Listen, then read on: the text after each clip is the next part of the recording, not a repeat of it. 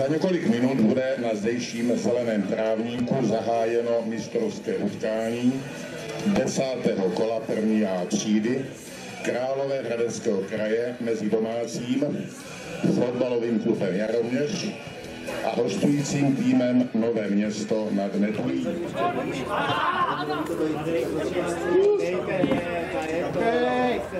No!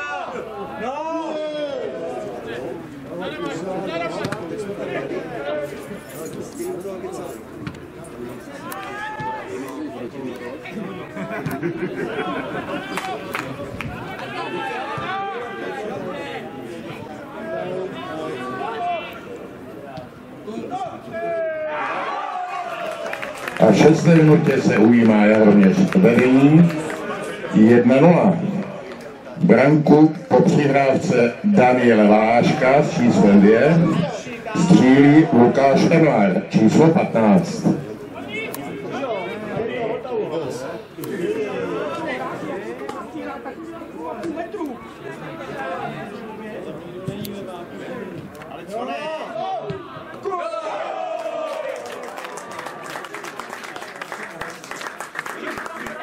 30. minutě zvyšuje Matěj Petráček, číslo 19, na 2-0 pro Jaroměř.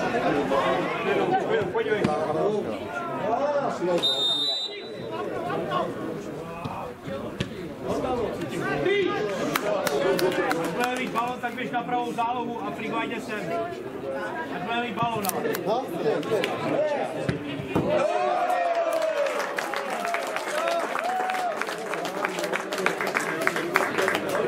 Do 37. minutě centr Jiřího Poděbradského usměrňuje do sítě Ondřej Častlé číslo 3.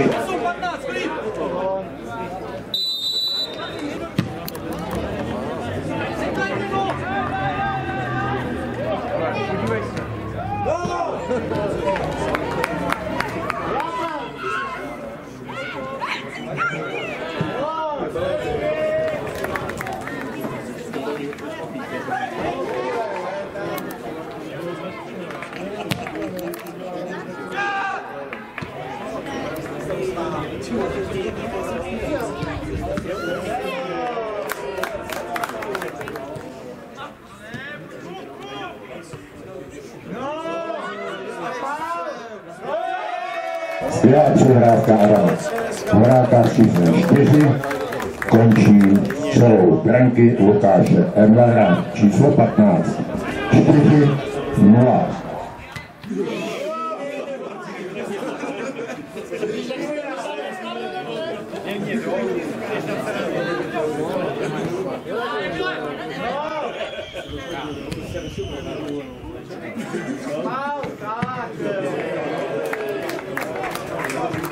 Pode, pode, pode, pode, pode. Vamos, vamos. Lajo. Não. Vamos. Não, não, não.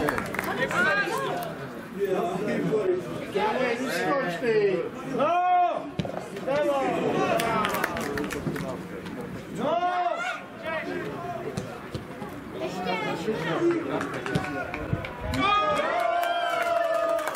A je to 5 0. Poslední minutě střílí branku Jiří Poděbradský číslo 16.